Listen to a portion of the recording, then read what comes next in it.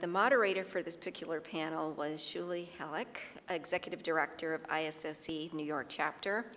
Um, panelists included Naomi Lefkovitz of NIST, Michelle De Mooy of CDT, Cara Sutton of United States Chamber of Commerce, Caroline Greer of Cloudflare, Craig Spiezle, um, Online Trust Alliance. Uh, there were six key points the first point, uh, there's really a need to think about privacy during the development phase. Um, getting consent on the back end is not enough. Um, a second key point, encryption is, um, encryption is security, which is not the same thing as privacy. And so that's a, something to think about, again, during development.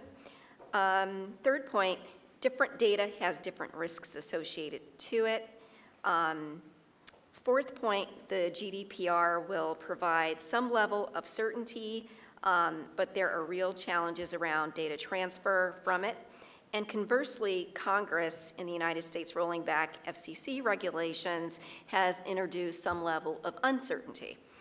Uh, fifth key takeaway, diversity is needed in your subject matter experts um, as it relates to accurately determining your risks associated with privacy during the development phase. So think about diversity and inclusion um, as it relates to privacy during development. And the sixth and final point is pay for privacy um, would potentially lead to uh, disenfranchisement for the poor. Um, but there is still a real need to think about uh, market-based solutions for privacy.